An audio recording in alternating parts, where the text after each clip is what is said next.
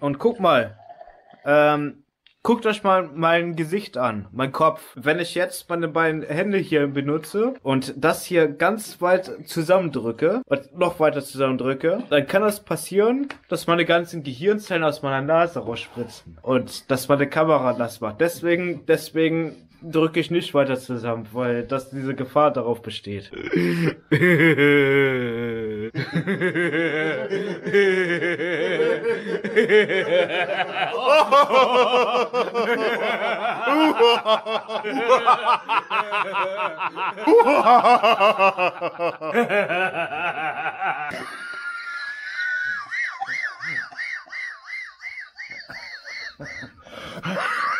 oh Gott, was für eine ekelhafte Corona-Schleuder.